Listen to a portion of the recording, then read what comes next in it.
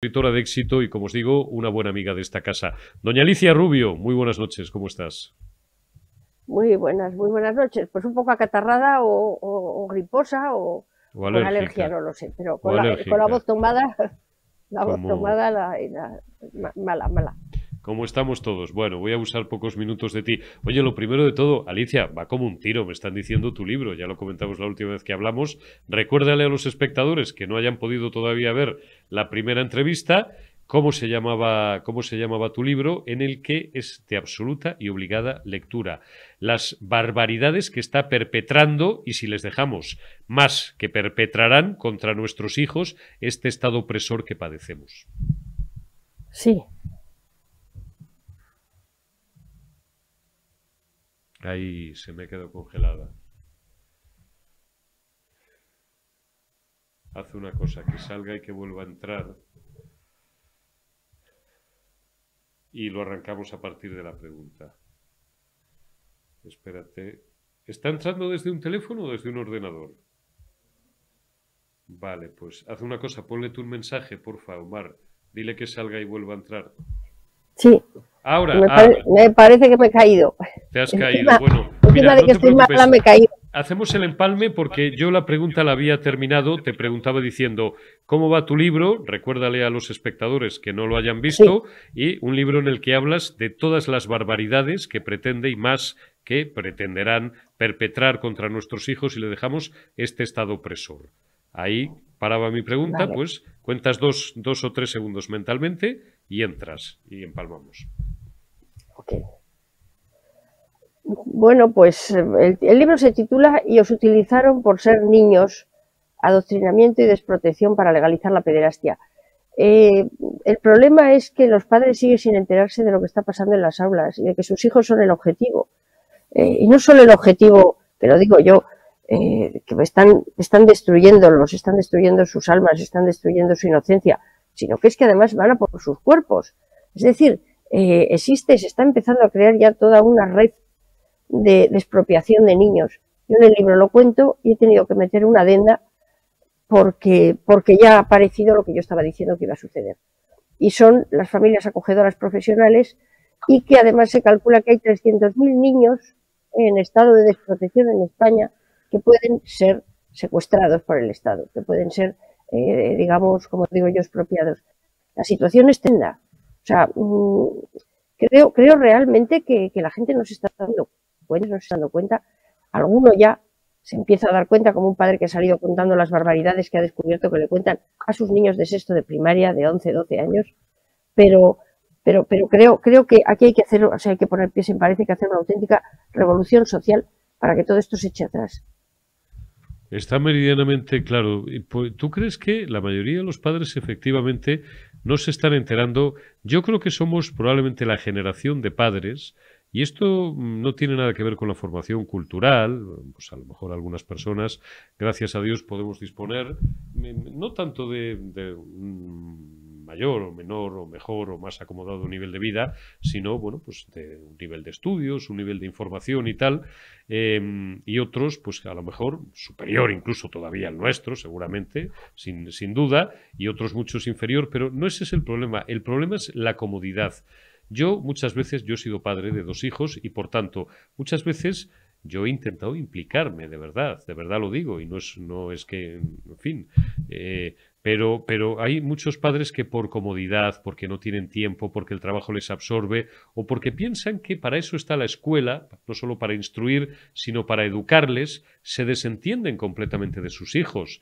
Y claro, eso mm, agrava el problema, porque si, si es decir, es que yo no sabía que estaban haciendo esto con mis hijos. Bueno, pues llega alguien, eh, como en, el caso de tu libro y, otros, y otras muchas personas que están alertando sobre esto, les abre los ojos. No, es que hay padres que casi casi les da igual, que es que no se quieren enterar, Alicia.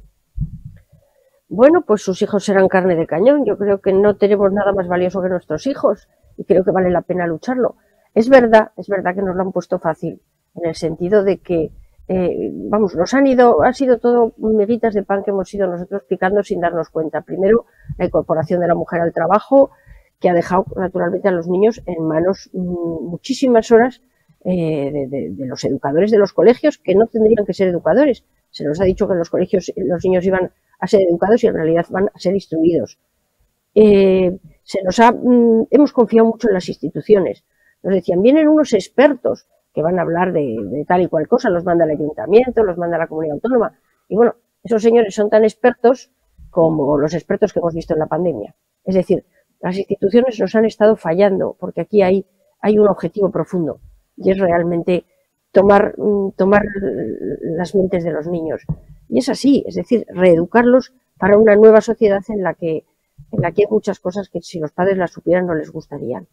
O sea, los niños están recibiendo una educación de los presuntos expertos en educación sexual que es absolutamente aberrante, que no son expertos, se les están contando cosas del cambio climático que son falsas, son las políticamente correctas, se les están contando eh, cosas de, digamos, de, nutrición, como es el caso de que los gusanos y, las eh, cucarachas tienen más proteínas que un chuletón, se les está haciendo creerse, creerse culpables de una auténtica mm, emergencia climática, eh, se les está engañando en muchísimas cosas y se está haciendo una generación, pues eso, que, realmente los padres no tienen ni idea de que un buen día se van a encontrar con una criatura, con un pequeño desconocido, eh, capaz de denunciarles, pues por, por no ser eh, unos buenos ciudadanos, con todo lo que se les ha enseñado. Entre otras cosas también se les está enseñando que tienen unos derechos sexuales que no los tienen, son inexistentes, y que si sus padres se los vulneraran, tendrían derecho a denunciar a sus padres. Eh, y todo esto viene, todo unido a una auténtica, digamos, eh, formación de estructuras de expropiación de niños, de niños que saben que van a empezar a denunciar a sus padres. Yo ya más no puedo hacer. El que se quiera leer el libro y se quiera unir a un movimiento social de, echar esto atrás, pues, pues que se anime. Pero, pero es que es que realmente la cosa ya está muy límite. Esto es leninismo puro y duro, Alicia. Esto no se lo han inventado estos indocumentados, estos, no, no, no, políticos. Esto se lo inventó la señora esposa o lo que fuera de Lenin allá por los años 20, que fue la primera que dijo, no fue Isabel Celá, como, como algunas veces decían algunos, no de broma, muy en serio. Aquello que dijo Isabel Celá, ¿te acuerdas? Ínclita ministra de Educación. Sí, sí, sí, no lo dijo, lo dijo a Educación que hemos tenido en España. Esto lo decía la mujer de Lenin. Los niños son del Estado y del partido, no son de los padres. ¿Qué pasa? ¿Que no os habéis enterado, hombre? Pues, pues esto, es, esto es así, leninismo puro y duro. Y si le seguís votando al PSOE, no digo ya a Podemos o a Más País o a Cuchicuchi Yolanda Díaz, pues, pues esto es lo que vais a tener. Lo malo es que lo vamos a seguir teniendo todos, porque es, es, lo, es la parte mala del, del sistema, Alicia. No, lo malo, lo malo es que realmente son unas directrices a largo plazo que están insertas en los objetivos 2030 y que todo partido que está defendiendo los objetivos 2030 está defendiendo todo esto. O sea, que nadie se engañe, porque estamos todavía esperando, después de cuatro años, de que nuestra petición mm, de, Vox Madrid era, por favor, deroguen ustedes la ley mm, trans y la ley, eh, porque además tenemos dos, a falta de una tenemos dos, y son todo adoctrinamiento, privilegios, eh, eso, entrada en los, en los centros educativos, etcétera, etcétera, y no hemos conseguido, bueno, engañar a los niños haciéndoles creer que pueden ser niñas o que pueden convertirse en niñas o viceversa. O sea, son unas leyes absolutamente desquiciadas y todavía no hemos conseguido que el PP las derogue. ¿Por qué? Pues porque, por ejemplo, el señor Feijóo tiene una ley muy semejante a la de Madrid, la tiene en Galicia y la sacó él. Y todas estas leyes, eh, mm, unas veces las saca la izquierda, otras veces las saca la presunta derecha, y aquí nadie mueve luego nada. Estamos ahora en la ley del sí sí. Ya se han dado cuenta del absoluto despropósito que es. Bueno, pues, pues, pues aquí no, aquí no se ve ningún movimiento de, de, derogar, es decir, tenía que haber sido inmediato, una vez vistos los resultados. O sea, todos, las, todos los, los sucesos y todas las desgracias que le ocurren a las personas a causa de que han soltado mm, delincuentes, violadores y pederastas, los culpables son los que han amparado esta ley, los que han sacado esta ley, y, la gente lo tiene que saber. ponme, mira, tengo, tengo la portada, la portada de tu libro, por si insisto, hay algún, es que me parece de, alto interés. Yo no suelo hacer estas cosas, ¿eh? Muchas veces cito, cito a los amigos, no, no, pero lo digo bien. Cito a los amigos porque han escrito libros que me parecen, sí, méteme por favor, Omar, el pantallazo, eh, porque han escrito libros que a mí me parecen relevantes. Con Alicia he hecho una excepción y es la segunda vez que hablo con ella para hablar de política general y de muchas cosas, pero también de su libro, porque me parece un libro absolutamente imprescindible, de verdad. Oye, haced lo que os dé la gana, lo tenéis en Amazon, lo tenéis en tal, pero no es por, por ayudar a mi amiga Alicia que venda más libros, no, es que el libro si lo leéis, os va a poner los pelos de punta y os utilizaron por ser niños. Alicia, además, tiene otros muchos libros hablando de la mal llamada ideología de género y hablando de, feminismo, es decir, es una escritora absolutamente experta y especialista en estos temas y a la que, sin duda, los que estéis interesados en ellos, conocéis desde hace muchos años. Has hablado de la ley del, sí es sí. Parece que al final eh, la, la caverna de Podemos y y, ese comunismo light, blanqueado, que nos gobierna, el del mal llamado ya Partido Socialista Obrero Español Sanchista, van a llegar ahí a, un, acuerdo de mínimos de la ley del, del sí es sí, acaudillada por esta ministra eh, que, y no vamos a entrar ahí porque bueno, está claro y nadie ha querido entrar por prudencia, si, si era había una canción de Estopa que era por la raja de tu falda, pues por la cremallera de tu bolso o por la cremallera de, tu no bolso. No, no sabemos muy bien qué había ahí encima de esa mesa. Bueno, la ley Montero, que no es la ley Montero, la ley Sánchez. Esto al final va a salir adelante. La pregunta no es que se vayan a salir con la suya, que ya la tienen, porque tienen esa mayoría Frankenstein, sino efectivamente cuando haya dentro de ocho o nueve meses un nuevo gobierno en España, que, bueno, pues si las encuestas van como van, presidirá el señor Feijo, pero que necesitará eh, indisociablemente el apoyo de Vox si esa ley va a ser inmediatamente eh, derogada, Alicia.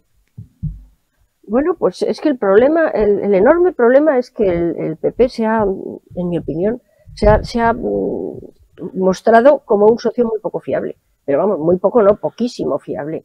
Es posible que en Vox se hayas pecado de, a lo mejor de, de, inocencia política, de a lo mejor de, no tener el colmillo demasiado retorcido, pero lo cierto es que se han, mostrado como unos socios totalmente semejantes a lo que puede ser el PSOE o la izquierda, incluso entre ellos parece que son socios más fiables que lo que ha sido el PP con Vox. Eh, esa ley se tenía que derogar, pero muchas otras también. Es que, es que hay que hacer una auténtica limpieza de leyes desquiciadas que la ciudadanía no solo no ha pedido, sino que además la dañan enormemente. O sea, leyes ideológicas que nadie ha pedido, que no se necesitan, que no es cierto que, vengan a resolver nada, que en muchos casos han creado el problema para luego sacar la solución. O sea, son muchísimas las leyes que tienen que, que tienen que quitarse. Y yo lo que digo es, si esta ley se ha demostrado que es un desastre, ¿cómo es posible que no esté ya más que cesada esa ministra? Dimitida si tuviera un poco de decencia, que, no creemos que tenga un poco de, honorabilidad o de, de, no sé cómo llamarle, de dignidad, pero desde luego cesada. ¿Por qué? Pues porque sí, pues porque, porque, porque esto es parte de, todo este desastre que quieren convertir España. Eh, estamos esperando todavía que dimitan todos los Tito Bernis y todos los señores que estaban en esas actividades. O sea, eh, parece, parece increíble eso que aquí la gente eh, crea, cree verdaderos problemas, haga verdaderos delitos, claramente, y aquí no dimita a nadie o no cesen a nadie. Ese es uno de nuestros grandes problemas. Es decir, España tenía que estar en la calle. España tenía que estar en la calle, exigiendo dimisiones, exigiendo una, una, una vamos, una inmediata, unas elecciones inmediatas y exigiendo que este gobierno se, se vaya. Y sin embargo, pues nada, pues aquí estamos todos, una de gambas, bueno, y además diciendo que si no era necesaria la moción de censura, que si bueno, qué tontería. Yo no sé ya qué tiene que pasar en este país, de, verdad. O sea, cuando la gente vea cómo les quitan a los niños, que ya lo están viendo muchas familias, ¿eh? cómo les quitan por una vía administrativa a las criaturas, por motivos absolutamente irracionales, será cuando a lo mejor empiecen a darse cuenta de a quién han votado, de lo que han votado y de lo que han traído. Pero ya será tarde. Me quedo, me quedo como titular, no te castigo más la voz, Alicia, porque la tienes, la tienes más flojita que yo. Que es una pena. Estoy al, al 100%.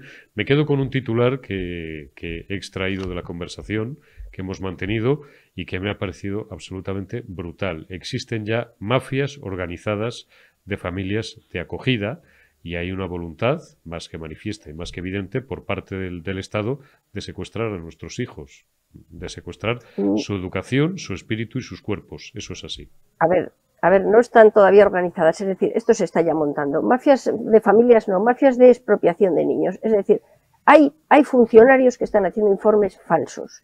¿eh?